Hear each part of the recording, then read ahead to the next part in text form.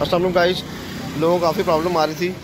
Atmosphere light Bluetooth के अंदर कैसे इंस्टॉल की जाए कैसे इसको ऑपरेट किया जाए अब उसका हम आपको डेमो देते हैं कि किस तरह फ़र्स्ट टाइम आप जब ऑन करेंगे इसको तो किस तरह ये चलेगी और किस तरह सॉफ्टवेयर का इंस्टॉलेशन होगा। सबसे पहले हमने एक सॉफ्टवेयर इंस्टॉल कर लेना है। एल लैम्प के नाम से फिर उसको हमने इसको ऑन कर देना। ये इसको ऑन किया ये इसका सेटअप आ रहा है आपको। ये उसके बाद ये क्या किया हमने? एक्सपीरियंस नाव पे क्लिक किया। एक्सप्रेस नाव के बाद एग्री पे क्लिक करना आपने। फिर आपने सबसे पहली ऑप्शन जो है एलईडी बल्ब उसको ऑन करना। फिर यहाँ पे वो अलाउ पूछेगा, आपको ब्लूटूथ अलाउ करनी है? आपने ब्लूटूथ अलाउ कर देनी है। सेकंड जो है वो सर्च करे, वो आपसे एलईडी लैम्प को फिर अलाउ करेगा अलाउ कर दें, इसका फिर अलाउ कर दें, फिर उसके बाद स्कैनिंग शुरू होगी। स्कैनिंग शुरू होने के बाद request gain letter LED lamp को दोबारा इंस्टॉल करते हैं, हम दोबारा ओके करते हैं।